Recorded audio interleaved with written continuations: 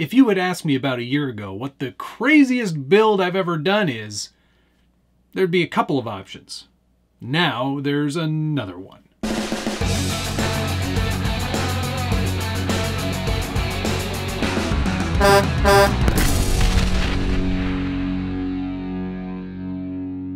Welcome back to the Scale Builders Guild. Thanks again for watching. It's episode three of the RCPC project. I worked with EVGA and Tamiya to bring this project to life. I am so excited to show some very cool and some big updates. If you've been watching videos lately, you've been seeing this thing behind me. Now, it's finally ready to show off. It's not completely finished. There are a few items left on my checklist, but for the most part, this is a functioning PC inside an RC semi-truck. Let's get it on the bench so we can get a closer look at it. All right, that is about as wide of an angle as I can give you. Uh, this thing is very long. Uh, it's many squares. I would say it's about, uh, oh, how many squares? About 36 squares long. Um, it's it's a shipping container. And inside of this, I'm going to show you this now, is a fully functioning PC. All the components were uh, graciously provided by EVGA, 120 mil AIO, uh, which is an all-in-one water-cooled pump uh, unit that cools the CPU, which is a Intel i5, uh, 16 gigabytes of RAM, all on an X570 Stinger motherboard, 2060 KO graphics card, uh, which happens to fit inside this container. It's pretty incredible. I am really, really uh, pretty chuffed with how everything's coming together on this one. As you can see, it's fully enclosed. Uh, there's nothing showing you anywhere that this is a PC. And that was always my intention. Build an art project that looks like a functioning RC car, which this is, but also make it a PC. Uh, and really, the only thing that would lead you to believe that this wasn't just an RC is on the other side of this trailer. So let's swing this around here. This was one of the things I was working on, and I wanted to make sure that uh, it's sort of still integrated nicely into the whole look of this trailer. Um, I just kind of built this I.O. shield here, and uh, you can see that's the EVGA E that's built into that there. Some cables coming out of here, and I'll explain what those are for in a second. Power button right here, and that power button starts up the PC, obviously. Uh, that much I've learned about PC construction is that you need a power button. Um, and there is a fan directly behind this, and that is part of the all-in-one cooling unit. So there's a fan that pulls air in, and you'll notice that not just is there uh, holes here, there are also holes on the sides, the bottom, and the top to allow plenty of air to flow into this case. That cooling unit obviously is connected to the motherboard and this AIO is cooling the processor directly on the motherboard. I guess we should actually probably talk about some of the exterior details. Uh, I did a whole paint job scheme on this to make it look like it's been a shipping container for a very long time. It's been shipped all over the world, gotten some tags from some local graffito tag artists. Um, there, uh, Some of them have been attempted to have been covered up. Uh, and uh, the logos for both EVGA and Tamiya are on the shipping container as this, you know, technically this is belonging to them. Uh, so I thought this was kind of a cool look. I'm still working on some of the weathering details, uh, but mostly complete. Swing it around again. On this side,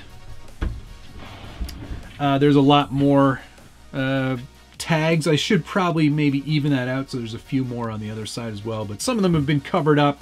Uh, there's a lot of detailing in the actual paint, like some of it's been stripped away and there's a little bit of rust detailing that's been started down here as well. There's a lot more to do in terms of that, uh, but on an exterior level, it's looking pretty awesome, and I'm pretty excited by the prospects of doing some more weathering, some chipping, some rusting. I think there's a lot more potential to make this look even better than I think it already does.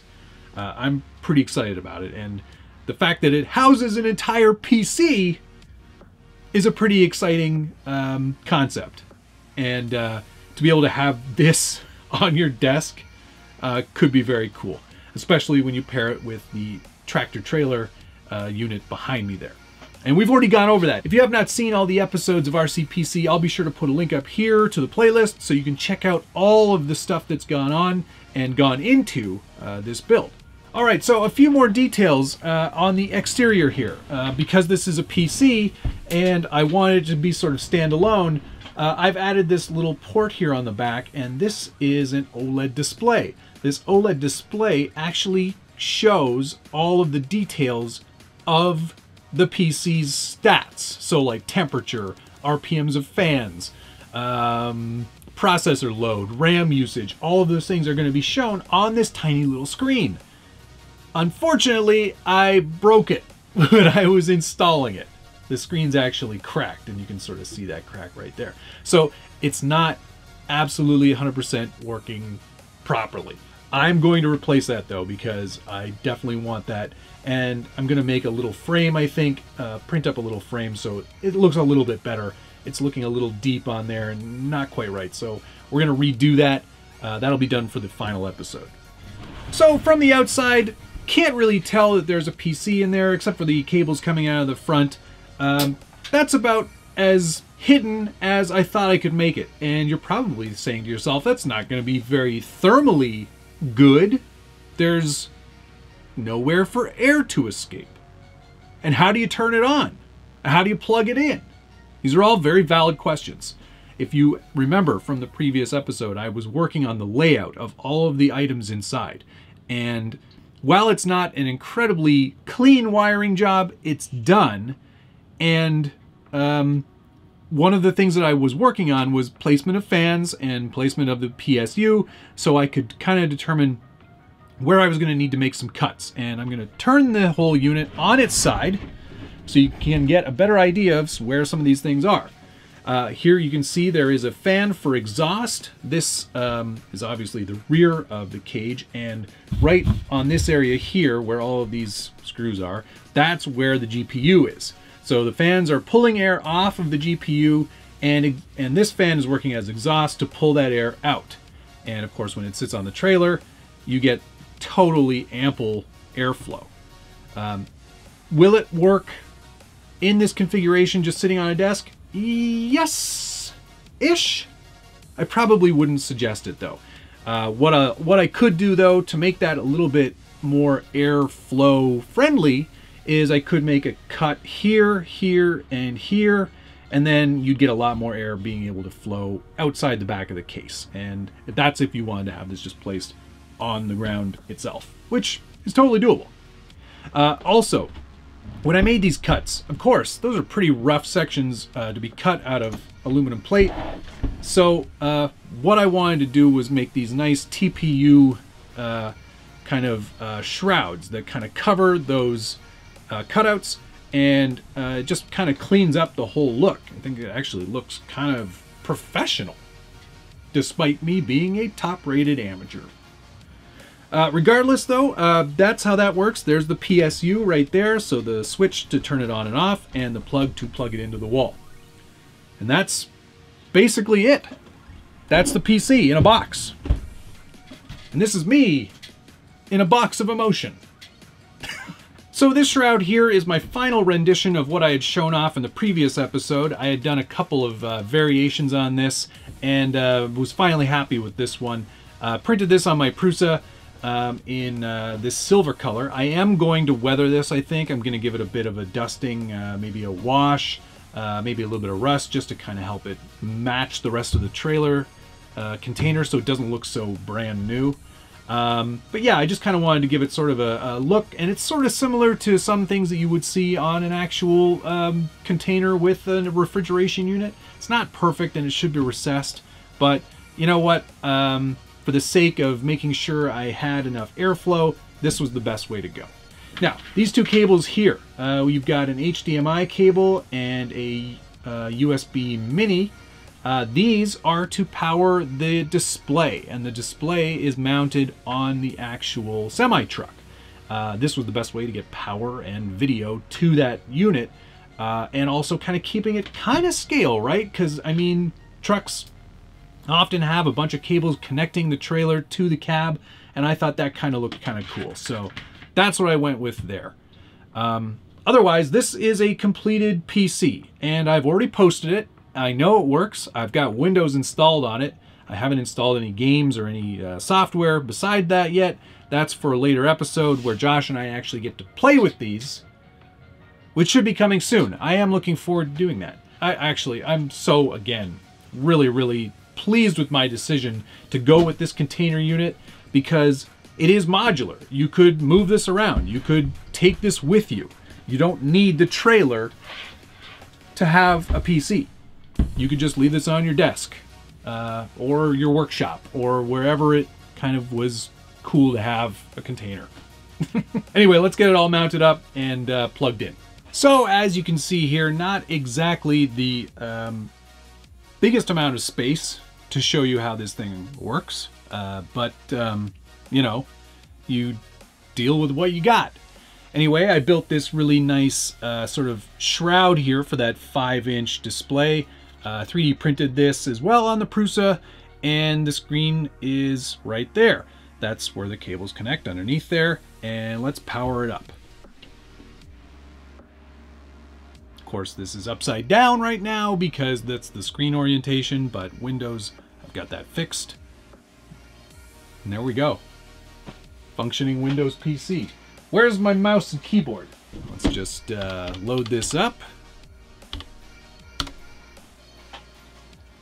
It says RCPC. Welcome. Uh, it's not the biggest screen, 800 by 600 or so, uh, but as you can see, it's working. This is a fully functioning PC in a container. And uh, I can feel the air flowing through it which is just amazing. I'm so excited about this. Uh, let's uh, finish that setup later. Anyway, there you go. That's the uh, display. Uh, let's just show you that um, Wi-Fi works. Let's load up a website here. Let's try the ScaleBuildersGuild.com. And we have the internet so cool. I can't believe this thing is working. Hey, look at that, Google Ads. Anyway, there's the forum running in this tiny little window. Uh, this is just awesome. I'm so chuffed. Uh, if you wanted to, you can also see I've got NZXT cam running here so we can see some of the uh, stats of this system. Anyway, everything's up and running. It's working great. And uh, I guess the next step, really, is to um, load some games on this and start playing some games. Uh, what do you think I should start with games-wise? There are a lot of truck and car-themed games out there. Uh, let me know uh, in the comments down below what you think I should start with, what you think our benchmarks should be, Josh and I. And uh, we'll start getting some stuff loaded on here and um, playing some games. Uh, we've got a bunch of challenges to go along with this because this wouldn't be an RC challenge if there wasn't an RC truck element to this challenge. So Josh and I will be putting the trucks with the trailers attached through a series of tests uh, to test our driving ability, of which there may not be much. Never had a big rig. There's a lot of real estate here and a lot more steering and thinking about that steering that goes into it. Uh, I am definitely looking forward for that, and I hope that you will stay tuned to see that. And if you like this video, you like this sort of weird, crazy content that we're doing, hit the like button. Subscribe if you haven't already, and ring that notification bell so you get updates anytime there's a new video from the Scale Builders Guild. Thank you so much for watching. See you again soon.